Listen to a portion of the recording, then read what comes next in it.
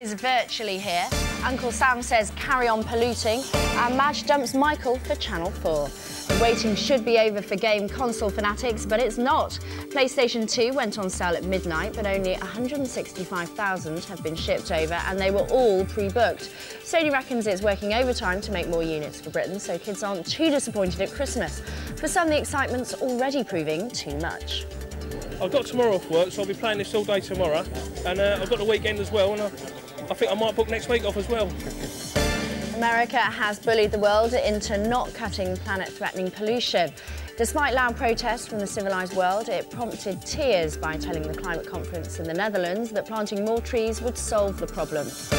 New Labour held all four seats in yesterday's by-election but suffered a huge drop in support in each of West Bromwich West, Preston and the late Donald Dewar's constituency of Anniesland.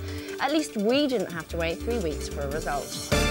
Here's one traffic jam you'd love to have been caught in. Drivers in Seattle watched with glee as the doors of an armoured car burst open, spilling cash onto the freeway.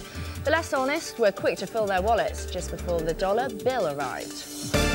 If you've ever doubted that this is the channel to stay tuned to, listen to Madonna. B-bosses are furious with the Queen of Pop for pulling out of an interview with mighty Michael Parkinson. Her reason? She wanted to give an exclusive to Channel 4 instead. Here's the sport. It was another cruel night for British football in Europe, this time in the UEFA Cup. Barmby and Gerrard both hit the spot for Liverpool, but the Greek side Olympiacos also struck twice, the equaliser coming seconds from the final whistle.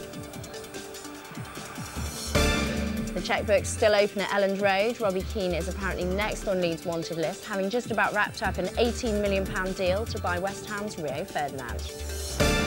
That's the Big Breakfast News. I'm at the house with the weather.